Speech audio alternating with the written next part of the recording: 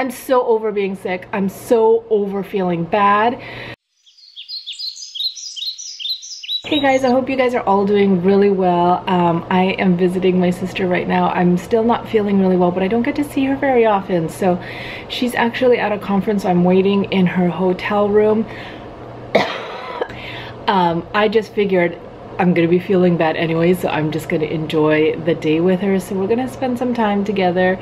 But while I was waiting, I thought maybe I would do kind of a tidbit. I haven't done a tidbit in a while and I need to get back into making videos. You guys, I've been sick for over a month. Like this is ridiculous. So sorry if this is a little bit wobbly. I'm holding it with my arm, but um, I wanted to do a video on feeling defeated because you guys, I have had some hard moments this month and one of my friends yesterday, was it yesterday or the day before, texted me and said, man, Jeannie, like I'm encouraged by your attitude through all this and stuff. And I'm like, listen, you do not see when I have breakdowns. And like this morning, this morning I woke up and felt super, super defeated um, I was telling my husband that like, you know, you just get tired of feeling sick and you feel tired of feeling tired. And I told him that I just felt, woke up feeling so defeated. I felt so, like I didn't have hope anymore, you know?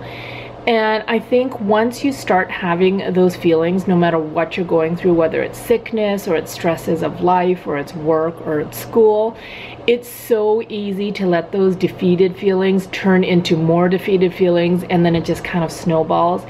And number one, I feel like it really helped that I voiced that to him because sometimes I feel like when we feel bad or we feel defeated, the number one thing we do is we retreat and we don't tell anybody and we just kind of deal with those feelings by ourselves and I feel like a lot of times that is super dangerous. So number one, I would say if you're feeling defeated, tell someone. Tell someone that you're having a hard time. Tell someone that, you know, you need some encouragement, you know, and I think that that number one not just because you're telling someone but because you're vocalizing that you're having a hard time it's acknowledging it you know and once you acknowledge it then you can kind of combat it and after that you know i just kind of looked at my kids, you know, and I reminded myself of the good things, the good things, the good things. And I also put things into perspective. I thought, you know, I've been sick.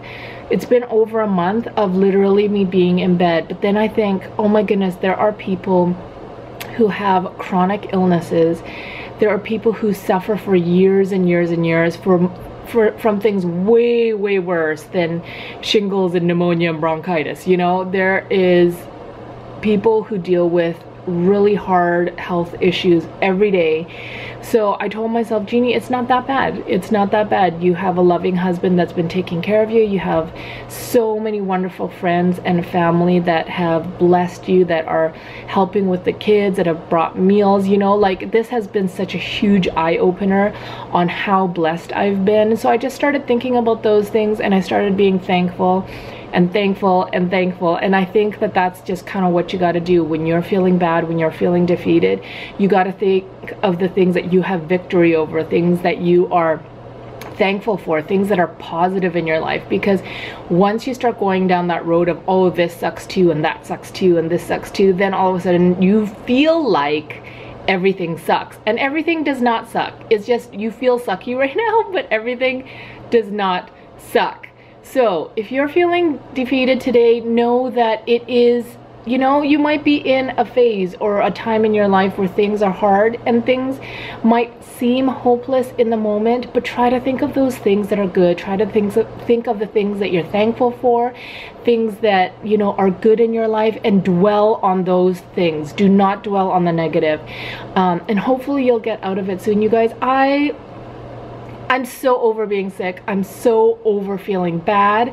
I have cried about it. I've prayed about it. I've pleaded with God about it. And I truly believe when I come out of this, I am going to have a new motivation, a new strength, a new passion, a new energy for life. Because realizing that when you can't do things, when you realize you can't do things, you're like, when I can do things, I'm going to do them and I'm going to do them really good. So I feel like in that sense, it's been good for me because it's been motivating me to be like, you know what?